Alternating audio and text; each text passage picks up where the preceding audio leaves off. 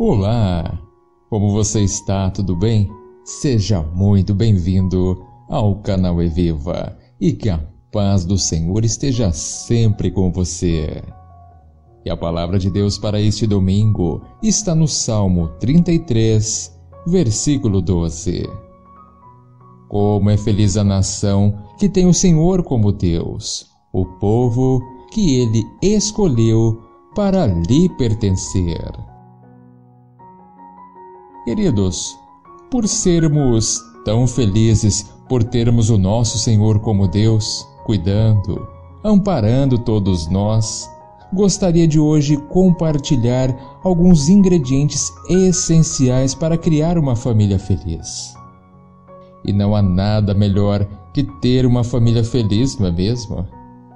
Pois nos dá segurança, estabilidade e em meio a tantas famílias destroçadas. A palavra de Deus sempre nos dá a esperança que podemos criar sim uma família feliz. Para isso, basta seguir a receita de Deus para a família. E estes são alguns dos ingredientes essenciais para isso. Primeiro, é preciso de uma dose generosa de amor, pois o amor é o ingrediente essencial de uma família feliz. É impossível exagerar nesse ingrediente. Quanto mais, melhor. Todos na família precisam dar e receber amor. E o segundo item é sem egoísmo, pois o egoísmo é o ingrediente que estraga a receita. Na família egoísta, cada um cuida de si mesmo. Agora, na família feliz, todos cuidam de todos.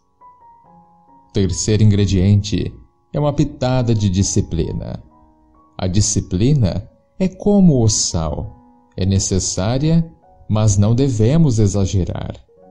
Sem regras, a família cai no caos.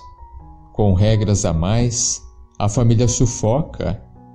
E com a ajuda de Deus, podemos sim encontrar o equilíbrio. Mas, muita atenção! Todo mundo erra no sal de vez em quando. O mesmo acontece com a disciplina. Agora, para solucionar o problema, acrescente perdão. O quarto item é uma medida de obediência. E esse ingrediente, queridos, é como os legumes, os filhos. Geralmente não gostam, mas são ótimos para a saúde. E a Bíblia diz que honrar os pais dá vida longa. A sabedoria dos pais ajuda os filhos a evitar muito sofrimento. E o quinto item é uma medida de sabedoria. Os pais também precisam comer os legumes. Os pais precisam dar o exemplo, vivendo de maneira correta e agindo com sabedoria perante os filhos. E o sexto item, queridos, é uma dose diária da Palavra de Deus. Saiba que a Bíblia é como o arroz e o feijão da receita. A Bíblia ensina como viver. Quando a família estuda a Bíblia, todos aprendem como tornar a família mais feliz. Pois uma família que ama a Deus e segue a Bíblia, esteja certo, é mais forte é mais feliz.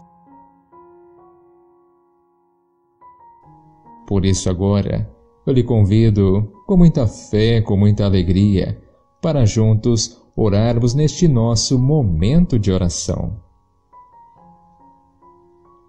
Oh, meu querido Deus, abençoe este dia que se inicia, que nos conceda paz, saúde, disposição e alegria em nossas vidas.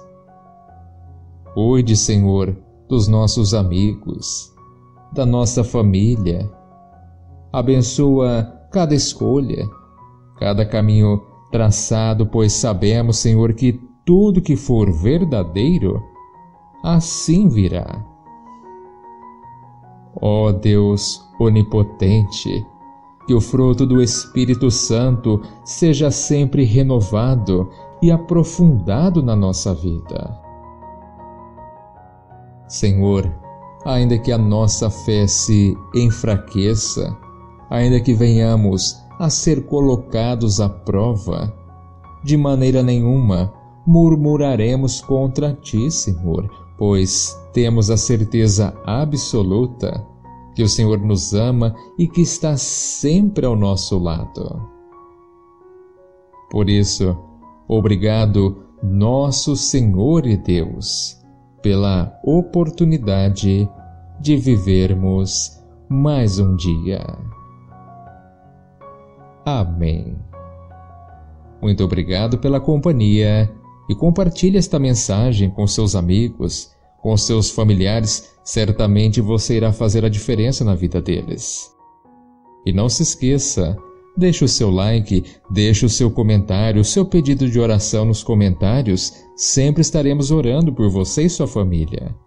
Assim, um grande abraço, que o Senhor sempre te proteja e ilumine e até o nosso próximo encontro, se assim Deus permitir, e um ótimo dia.